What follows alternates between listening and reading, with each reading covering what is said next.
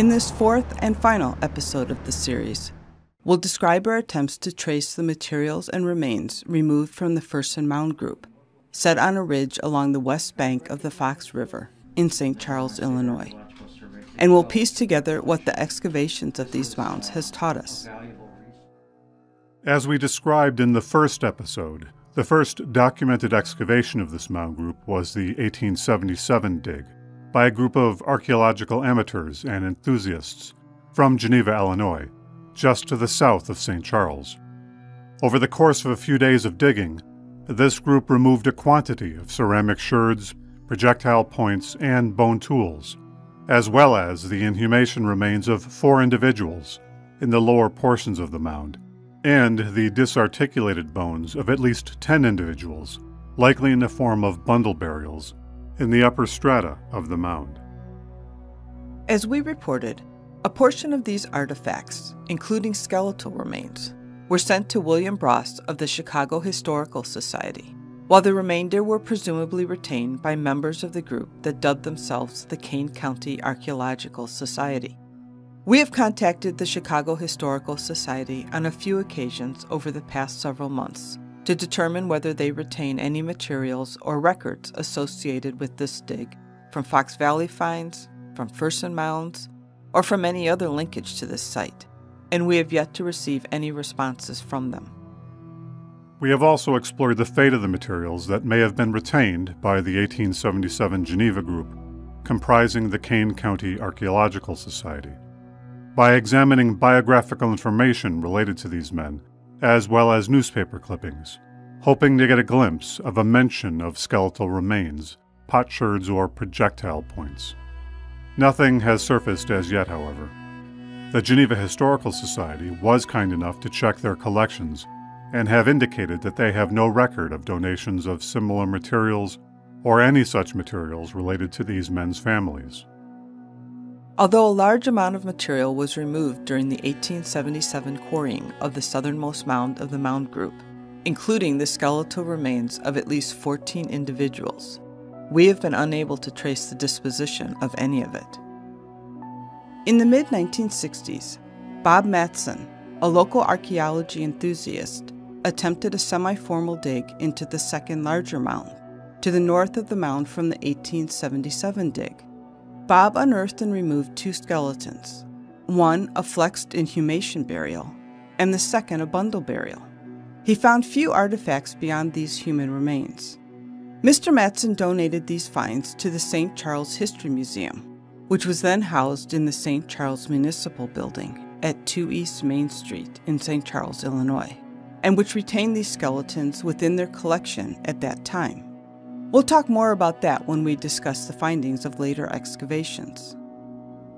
In 1971, Anne Marie Early, the anthropology graduate student from the University of Massachusetts at Amherst, made a few test pits between the mounds, as well as a slightly larger pit in the southeast corner of the North Mound, removing well over 250 ceramic sherds, as well as stone flakes, from what she interpreted as a refuse pit or midden. We recently contacted the anthropology collections at the University of Massachusetts, and they were kind enough to check their holdings, and they too reported that they had no record of that material. The most recent documented excavation of these mounds was done in the spring and summer of 1972 with the College of DuPage sponsored dig led by Charles Ellenbaum, with whom we've spoken at length. The 1972 dig removed more than 900 pottery sherds a quantity of lithic flakes, three skeletons related to three inhumation burials, as well as partial skeletons from three bundle burials and two or three cremation burials. The ceramic sherds and lithics from this excavation were retained by the College of DuPage Anthropology Department for a number of years, at least through the mid 1980s. We know this because Brian Bardy, then an instructor at COD, was familiar with these artifacts and undertook a study to identify their cultural affiliations. However, since that time, these artifacts appear to have disappeared, as representatives from the COD Anthropology Department have been unable to locate them within their current collections.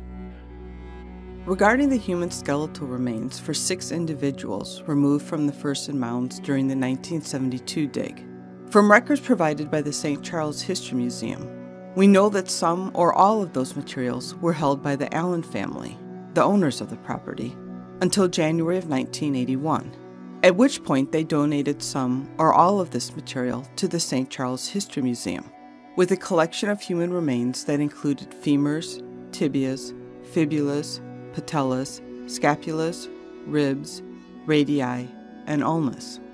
Note that the donation documentation did not mention skulls, humeri, or pelvic bones, which we might have expected, as some were definitely removed as part of the 1972 excavation.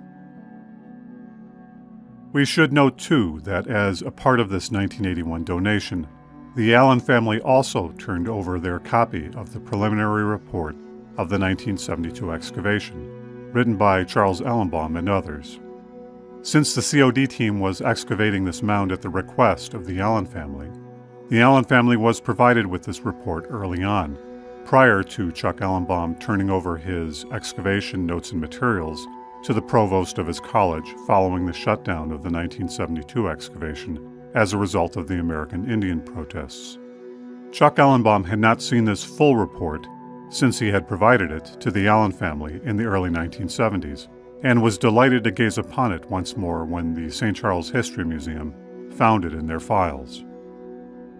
As of the early 1980s, the St. Charles History Museum held at least two fairly complete skeletons, earlier donated by Bob Matson, as well as the skeletal remains, sans some critical pieces, from multiple individuals donated by the Allen family. We also know that the St. Charles History Museum included at least one of these skeletons in their displays from the early to mid 1980s while in residence at the St. Charles Municipal Building. But here again, cultural attitudes and norms regarding Native Americans and artifacts related to their ancestors were shifting within the United States. Some American Indians took offense at the manner in which the remains of their ancestors were being treated and put on display in museums and educational institutions across the country. Some may remember this coming to a head at the Dickson Mound State Museum in Fulton County, Illinois, in the early 1990s. This museum had started out as a private institution in the 1920s, owned by the Dickson family, but due to its cultural importance was taken over by the state of Illinois in 1972, with the construction of a modern new museum. The centerpiece being the mound display, with dozens of human skeletons displayed in situ within a partially excavated mound, enabling visitors to see them up close and in great detail. Native American groups protested the open display of these human remains, believing it to be deeply disrespectful to them and to their ancestors. I'm old enough to remember this display at the Dickson Mounds Museum, as my parents took us there on multiple day trips when I was a boy. Admittedly, it was a thrill for me to see the museum's excavated mound display, and it fired my young imagination into a lifelong interest in this topic. Nonetheless, as a result of American Indian protests and growing public sentiment, the portion of the museum displaying more than 200 skeletons was finally closed down in 1992 by then Illinois Governor Jim Edgar. The Illinois State Dickson Mounds Museum was one of the last remaining institutions in the U.S. to openly display Native American skeletal remains.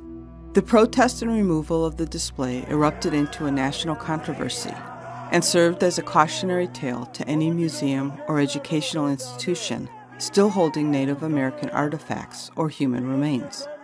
Only a few years earlier, in response to more than a century of excavation and informal looting of Native American mounds and sacred sites across the United States, both from trophy hunters and archaeologists.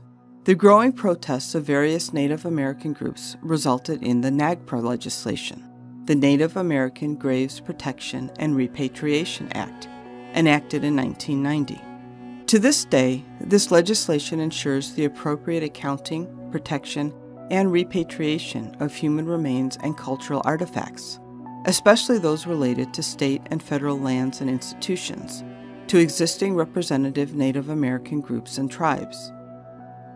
In anticipation of the emerging NAGPRA legislation, in the early 1990s, the St. Charles History Museum transferred all of their Native American skeletal remains to the Illinois Historic Preservation Agency, which at that time oversaw the Illinois State Museums, meaning that the ISM was subsequently responsible for the disposition of these remains, as per NAGPRA. Our understanding is that the Illinois State Museum still retains these Ferson Mound remains, but they have plans to repatriate them in the future. So at this point, we can now say that we have successfully traced most of the remains removed in the past 60 years or so from the Ferson Mound Group. However, we are still very much in the dark as to the skeletal materials removed during the 1877 excavation. Nor can we trace what happened to any of the ceramic sherds, stone flakes, or bone tools that emerged from the Ferson Mound digs. We had initially hoped that the St. Charles History Museum might retain at least a portion of these materials, and the museum kindly invited us to spend a few days examining their finds, along with Chuck Ellenbaum and Brian Bardy. We learned that the museum does indeed have an extensive and impressive collection of Native American artifacts. But after careful review of all the materials, we were able to determine that the vast majority were donations from local private collections with Kane County provenance, but not specifically associated with the Ferson Mounds. Nonetheless, we highly encourage people to take the opportunity to see the St. Charles History Museum collection, as it provides an excellent cross section of the cultures that inhabited the Fox Valley for thousands of years, extending into the Archaic and Paleo periods of occupation. We should also mention that one of our viewers had noted that they grew up close by the mounds and that one day, years after the 1972 excavation, that this person, along with their father, had escorted a visitor across their property to the Ferson Mound area, where the visitor then conducted an artifacts reburial ceremony. And perhaps that small ceremony included some of the missing remains or material for which we've been searching. We'd like to think so. Admittedly, it has been a somewhat challenging experience tracing the materials and remains removed from the Ferson Mound group. If anything, our experience has underscored why NAGPRA is so vitally important. After multiple months of research, we have only been able to trace the remains of about half of the individuals removed from these burial mounds, and that effort has been aided by NAGPRA related tracking and documentation, and specifically for those remains removed in more recent excavations. Prior to that, institutions and private collectors treated Native American human remains in a somewhat cavalier manner. Human remains and artifacts simply disappeared, ending up as trophies in personal collections, piled loosely in bags stuffed in closets or storage lockers, and sometimes even discarded. The NAGPRA legislation finally provided Native Americans the means of tracking, repatriating, and ensuring that their ancestors' remains were treated with respect. As we've seen with other Native American sites in the region, there is also a paucity of formal documentation related to the St. Charles site. The exception was Anne Marie Early, who, to her credit, formally published her finds and results regarding her 1971 Ferson Mound test pits in her 1973 PhD dissertation.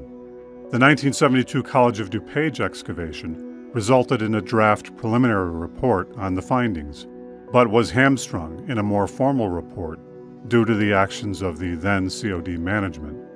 But as we've seen with the Winfield Mounds and other area sites excavated in this time frame, the general lack of publishing appears to have been a pattern, even when the excavation was undertaken with the best of intentions. And so, why are we whinging on about formally documenting these scarce and rapidly disappearing sites? Why is it so important? Perhaps one of the better answers to that question comes from the late Mick Aston, an archaeologist from the University of Bristol, United Kingdom. I don't think many people realise this, but, but in the end, archaeology is destruction. You have to take the site apart to understand it. And if people in future are going to understand it, then you've got to leave a lot of good records. So there's got to be good plans, good sections, notes about it, or photographs, so that in theory somebody could come back and at least mentally put the site back together. And so, having attempted to put the site back together in this series of videos, based on newspaper articles, dissertations, informal conversations, and preliminary reports, what can we say about the Ferson Mound site? Its cultural affiliations, its usage over time, and the world in which it existed 1,000 years ago or more. What in the end does the archaeology tell us? As described in previous videos, the burial evidence and the associated artifacts suggest at least two, possibly three, major cultural affiliations with this mound group. The log structure burial hinted at in Mound A, as well as the inhumation burials in the lower levels of both Mounds A and B, suggest a Middle Woodland tradition, possibly with cultural ties to Hopewell. The mound size and structure, as well as their positioning in the landscape, also strongly suggests Middle Woodland tradition. The pottery sherds associated with these burials and stratification likewise indicates Middle Woodland, with cultural ties to Havana Hopewell, meaning that these burial mounds were likely first built approximately 2,000 years ago, perhaps to serve a small community of Native Americans, consisting of three or four extended families, who yearly moved across the landscape and camping in one place for perhaps a season or two before moving on to other areas to take advantage of different resources in each locale. Archaeologists tell us that the Middle Woodland tradition extended from approximately 200 BCE to 500 CE and would have replaced the late Archaic and early woodland traditions that we know to have existed in the Fox Valley before then. How do we know that? The rich trove of archaic type projectile points in the St. Charles History Museum collection tells us that such communities existed in this area for thousands of years. But what characterizes a Middle Woodland tradition relative to some of these earlier ways of living? Archaeologists tell us that there are multiple attributes, including more use of ceramic pottery, better quality and more highly decorated ceramic pottery, the beginnings of agriculture and more settled communities, and increased trade networks across the middle of the North American continent. The evidence of raw copper and the mineral mica in the St. Charles History Museum collection hints at the trade networks that were leveraged by the Fox Valley peoples of that time. Middle Woodland and specifically Havana Hopewell cultures also developed distinctive styles in pottery decoration and projectile points, such as Snyder points. Were these archaic and middle woodland projectile points evidence of usage of the bow and arrow? Referencing the excellent videos put out by the University of Illinois Extension regarding Illinois projectile points, the short answer is no. Most of these projectile points would have been much too large to be hafted to an arrow. So, most, if not all, of the projectile points that we see from the middle woodland to earlier times would have been for atlatls or spear darts or for larger spears. Bow and arrow technology was not taken up by Native American peoples until approximately 600 CE, or until the late woodland tradition evolved in the region. And we know from the Ferson Mound evidence the peoples of the Fox Valley and the Ferson Mound area were of late woodland cultural affiliation as well, which is generally dated by archaeologists from 500 CE to about 1000 CE. Recall the bundle burials and cremation burials which were found in both Mounds A and B, in which Brian Bardy noted late woodland ceramics. Anne Early also found evidence of late woodland ceramics in her 1971 trenches and field walking, specifically of the Langford tradition, which would take the site right up to the edge of colonial and historic times. We've also seen that the St. Charles History Museum collection includes late woodland or Mississippian arrowheads, which are distinctive in their small size and fine blades, better suited to an arrow. More indications that late woodland and Mississippian peoples were in the Fox Valley area. In addition to the bow and arrow use in hunting game, late woodland peoples also made greater use of agriculture, and in their diets included more maize, which we equate with corn, as well as beans and squash. In some late woodland and Mississippian settlements, this increased use of agriculture allowed for larger and more permanent villages. But there is as of yet no evidence from the Ferson Mound area to suggest either permanent or large villages, which suggests that they only made limited use of agriculture for their sustenance. Or perhaps a more permanent village site in the area has yet to be found. And as we describe the various cultural affiliations of the Ferson Mound area, from archaic to late woodland cultures, this is not to suggest that new peoples were moving into the area with each new cultural tradition. That is one possibility, of course, but it's also very possible, if not more probable, that the same people lived here for thousands of years, evolving and adapting to new cultural styles and practices, with occasional outside influences, either from trade or intermarriage or the occasional conquest by neighboring groups. And in the continued use of the Ferson Mounds for funerary practices and their reuse and respect of this sacred space for thousands of years, we can see continuity of culture, deep rooted traditions and beliefs that sustained their life cycle pathways. What finally can be said about the Ferson Mound site in the present day? What possible role can it play in our lives, far removed from the traditions of these early Native Americans? As we've already noted, the Ferson Mound site has been a sacred place for thousands of years, in the same way that our present day cemeteries are sacred, places of remembrance and reflection, places where we reconnect with the dead. As Chuck Ellenbaum noted, we should view these ancient mound sites as an indelible part of our prehistory and history, both the good and the bad aspects of that, as we are the present stewards of this landscape. And as stewards, we should ensure that these mounds remain undisturbed and undeveloped. Today, this mound site remains protected on private property, but we would hope someday that it might pass into the hands of a public organization or governmental body that can work to restore it to a semblance of its original aspect, and thereby make it more accessible to the present day inhabitants of the land.